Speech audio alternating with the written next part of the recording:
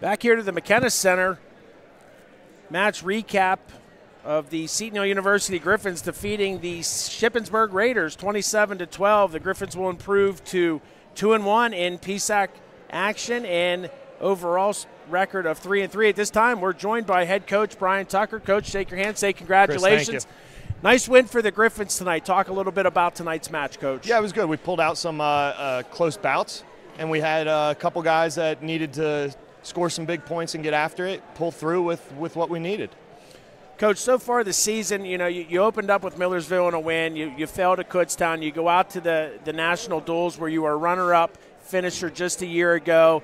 Didn't perform the way that the Griffins did last year. You came back one and two. What was the message coming into this second part of the season as you open up your home competition here? Yeah, we always do well after the Christmas break. Uh, we come back. We're normally pretty healthy we're uh, ready to go and, and get after it. And that's kind of what the message has been uh, the whole time. Uh, just to basically keep fighting hard and keep wrestling hard. If that happens, good things good things come along. Sure. In that match, was that was it the game plan all along to make that switch at 125 and 133, kind of the flip flop, the um, flip flop them too? Not exactly. I went back and forth with a lot truthfully, I trust both those guys out there with uh, Derek Christie and Brady Sherback, uh, and really, I trust trust them at either weight right now. So that's part of what we've tried to been, tried to build is to have some depth here, and you know, we lose Alan Diltz for a little while, and, and those guys are looking to step in. Coach, talk a little bit about what's coming up for the Griffins. We have Gannon Saturday night, and then I believe next week is the Kutztown duels. We'll have uh, we'll have four dual meet matches out there. Wrestle East Stroudsburg, UNC Pembroke, Long Island Post, and uh, Queens uh, University. So you won't get that redemption match against Kutztown? No, no, we won't. They'll be there, but it won't be against them. Sure. Okay. Yeah. So Diltz will be back there uh, before the end of the season, though, Coach. It's not yes. a season-end in- yes. injury. No. Okay. Talk a little bit about uh, you know Jake Beistel transferring. You know, it's the first time we've ever yeah. we've actually had the opportunity to interview yeah. you on the air, and you know he leaves Southmoreland. You know, he had one heck of a career football wise and wrestling, a state champ for the Scotties, goes away to St. Francis and des- decides to hang up those spikes, put on the wrestling boots. Talk a little bit about that transition because I'm pretty sure that's probably your first transfer who left football to come back to wrestling. Yeah, from what I heard, he was just kind of uh, just really missed wrestling. And I think it, uh, you know, a lot of guys go out of high school thinking the big time is, is within reach and, and don't want to shoo anybody away from that. But you know, I think he started to realize kind of how far it maybe was. Um, and he just kind of, I think, fell out of love a little bit with football. He still mm-hmm. enjoys. He's always watching on the buses and bus trips and everything like that. But he was ready to come back to wrestling, and we we welcomed him with open arms. And he's a hard worker, good kid, uh, local kid, which is huge again.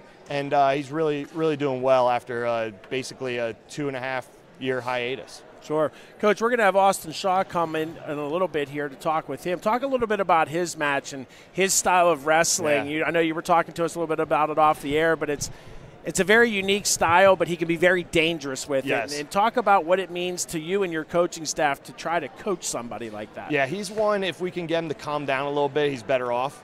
Uh, he, and then he uses his style to, uh, to his advantage. Mm-hmm. Uh, tonight, he was a little bit unhinged for a little while. Uh, so maybe went after it a little too much, and we had to rein him in. Uh, gave us a little bit of a scare uh, at the end of the first there, but uh, but came back and just stuck with his his stuff, and luckily it turned out well for us. You know, do you think that was the catalyst for where the Griffins just continued to pull away? Right? Yeah, there? that you was guys good. down at that yeah, point. Yeah, that was a good one. And and look, we wrestled hard up to that point. 25 was a well well fought mm-hmm. hard win. 41, we were right there. Um, you know, but yeah, Austin pulling that pin through, I think that propelled us the rest of the way. Okay, hey, that's head coach Brian Tucker, the Seton Hill University Griffins coach. Hey. Good job tonight. We'll see Thanks you on Saturday. Thanks as always, guys. Appreciate it. Thank you. Thank you. That's head coach Brian Tucker talking a little bit about that Griffin win as uh, Jody Kraus comes over and hands him his sport coat. We'll catch up with uh, redshirt junior Austin Shaw, who kind of got the action really started for that. You know, the Griffins were down at that point, nine to three. Austin comes in and – like I said, George, he was wrestling kind of loose, and I think Coach used the adjective unhinged. Mm-hmm. And I think, you know, once he was able to calm down, hone in, tighten things up a little bit, and he was able to lock in and get that pinfall that, you know, resulted in six points for the Griffins. Right. And then from there on out, I don't think the Griffins ever really looked back. Here comes Austin joining us now. His dad telling him to get over here. Austin, congratulations. Thank Big win for the Griffins tonight. Thank Talk you. a little bit about your match out there. Uh, I'll tell you, that was a rough one tonight. Uh, I was really, I was tired. I was a little, a little bit of trouble with my weight cut today. Um, I think the seven o'clock match, you know, having to wait all day, minimal food, a lot of workouts, really, I think that weighed in on how I performed because I was giving up my back a lot, giving up a lot of points, but I found a way to get it done. So that was big. Talk a little bit about what it's like to be a wrestler, and there, there's no class. Like nobody's in class right now, and you're just here, and all you're doing is training. Mm-hmm. I'm sure you have a lot of the young men who live on campus living with you. Yep. Talk a little bit about that experience. I mean, it's it's literally just training and wrestling and video games. we we wake up, we train, we go home, we eat a little bit of lunch, play a little bit of video games, watch some TV, go back, train again. It's just nonstop, and it's the grind. Like this is the hardest part of the season, but we love it. You know, it's no school to worry about, just wrestling and A little bit of team building, you think, Yeah. Mm-hmm. with the freshmen coming to live off campus and seeing what that Yeah. off campus life is Yeah, like. everyone's just hanging out all the time. We we have a really good group of guys now. I mean, we've we've really just connected a lot better than we have in the past, and everyone just gets along. It's it's, it's a great time, great team. Do you know who George lived with when he was a freshman at Bloom and had to come off campus? I don't. You? Oh yeah. How was that? It was great. Yeah. yeah. No, we had a good time. We certainly did. But Austin, I got to talking with Coach a little bit, and I guess I'd kind of forgotten your style of wrestling a little Mm-hmm. bit. Talk a little bit about your style of wrestling. You don't mind putting yourself into precarious predicaments and situations. You promote flurrying. Mm-hmm. Yeah. So, um, ever since I was in high school, I've always been a, a taller kid for my weight class. You know that, coach. I do. I've always been taller and skinnier. So, I've had to find ways to avoid giving up points to guys that are stronger than me or bigger than me.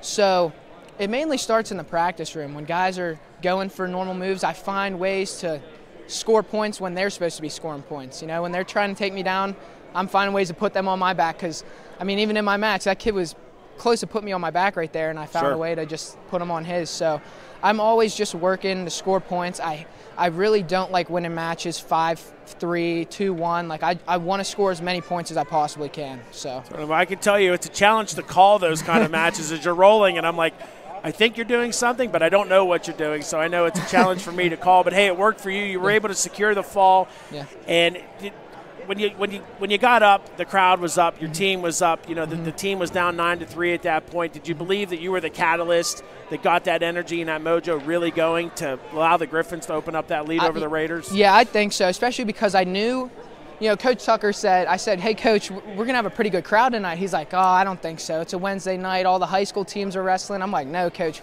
People are coming to watch us wrestle tonight. So when I was out there, when I was out there, I was, I was feeling sorry for myself a little bit. I was like, man, I'm tired. But I, I heard the crowd and I was like, I got to go out there and do something for my team because we, we couldn't risk losing this match, especially losing at 41, a match that was very close. So, yeah, I think after that, I mean, my brother, that's the most riding time he's had the whole year in that period. Well, he needed it. Yeah, Oh, and yeah. he I won can the tell you match. won the match. So, I mean, right from there, everyone was just wrestling hard, even uh, to the end, to heavyweight. Everyone was wrestling hard, and I, I hope that that pin, you know, got the guys going. Certainly. So. George, you have anything for Austin?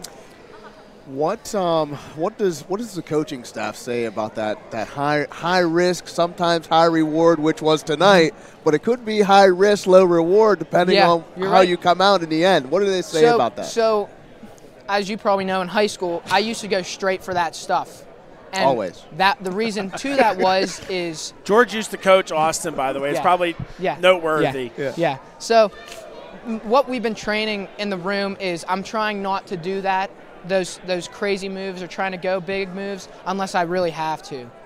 So I'm working on staying solid, and then when I need there to do a move like that or I feel it, that's when I go for it. And when I, I was feeling tired, I felt the kid on my hip, and I've done that move before, pulled it across the face, and ended up on top of him. So, so I think that's my second pin this year in that move. So Okay, well, So- hey, it worked Yeah, out it worked. tonight. You got the, you were the catalyst. The, you know, got the ball rolling for the Griffins. Want to shake your hand, Awesome. say best of luck the rest Thank of the you. season. Thank you. Glad to have you guys here tonight. So. Thank you so much. That is Austin Shaw, redshirt junior, who uh, very unique style of wrestling, George, to say the least. And uh, but nonetheless, victorious was able to secure himself a pinfall. But let's get into the match recap. We got things started at 125. We do apologize for a little bit of confusion on the names. We had a lot of switching around and uh, we were caught off guard by that. So at 125, it was uh, Derek Christie Chandler securing a six to three decision over David Reagan of Shippensburg. Shoe up three to zero.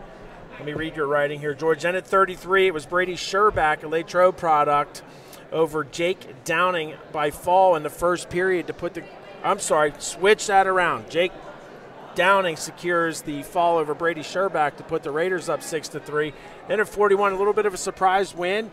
I think according to Coach Tucker and Austin, Cole Rush the junior out of Shippensburg, getting that overtime victory takedown over Tyler Kennedy to put right the, the Raiders up nine to three. Yeah, right at the end. Or yes, it was at the end of overtime. Then we go into 49, and this is where Austin Shaw, who we just spoke with, had the opportunity to get that momentum switched back around as he secured himself a fall a match. It was followed by, you know, a takedown, a bunch of reversals, a couple near fall points here, a couple, you know, almost I got pinned right. there at the end of the first period, but Austin able to come out on top and secure that pinfall to tie the bout up at nine. His uh, younger brother, redshirt freshman Alex Shaw, comes out, rides Drake Brenzi for the entire third, third period right. to win the match three to two. Longest, most riding time he's had all season, but uh, congratulations to Alec.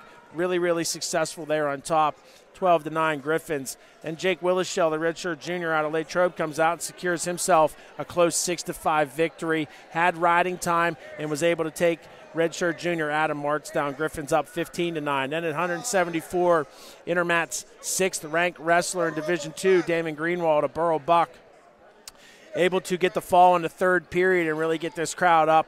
He pinned redshirt freshman Austin Clucker to put the Griffins up 21 to 9 after 174 pounds. With just three bouts to go, 184 pound seventh ranked junior Billy Bolin gets a 3 to 2 decision over junior Ryan Narber of Shippensburg to put the Griffins up 24 to 9. Moving on to 197 pounds, Jody Kraus comes out and scores a regular decision 5 to 3 over Alexi Castro of Boca Raton, Florida, putting the Griffins up 27 to 9. Final battle of the evening, heavyweight, two Westmoreland County kids going at it. Derek Burbrick of Shippensburg, formerly of Greensburg Salem, right. takes down uh, Jake Beistel in overtime to win that bout in OT. Final score 27 to 12. Seton Hill University Griffins. The Griffins will resume action this Saturday against Gannon. Right. I believe it is. That is a 7 p.m. match, mm-hmm. and we're going to have a little change of things that match as uh, George Carter and Jeff Shaw will bring you that call we'll that evening. Call. Yeah, so you're going to have George on the call that evening. I know he's ready to rock and roll. Uh, you'll have Jeff on the color as usual, but before that, we will have high school wrestling this Friday again live from Burrell High School. Awesome match, double A, triple A showdown. Burrell versus Kiski. It's going to be one heck of an atmosphere. It's going to be electric. You know, a lot riding as far as pride goes, George. Right. You know, there's no impact on rankings as far as team stuff, but uh, a lot of pride over there between mm-hmm. those two teams. So we'll look forward to having you back with us this Friday. Want to certainly say thanks to Dan Flickinger on production and camera number two, and for doing this broadcasting stuff that we get to do. Thanks, uh, Dan. Jeff Shaw on camera number one up top. He did a wonderful job despite having both. There's Jeff. There's Jeff right there. Yeah, and Sandy right there. Uh, there's his brother Billy as Jeff steps out of the screen. But I want to say thank you to the Westmoreland Sports Network family, wherever you are. Certainly to you, our viewers, to our sponsors of Seton Hill University Griffin Athletics. Uh, we wouldn't be where we are here at Seton Hill University if it wasn't for your support. But uh, that's going to do it from the McKenna Center here. It's your Seton Hill University Griffins 27, Shippensburg 9. For Dan, Jeff, George, I am Chris Smith. Until this Friday, live from Burrell at 6:40 p.m. So long from the McKenna Center atop Seton Hill University.